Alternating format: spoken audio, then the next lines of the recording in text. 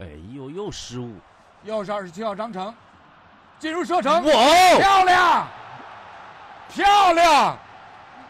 新上场的十一号李元一，还是张成的一个传球失误。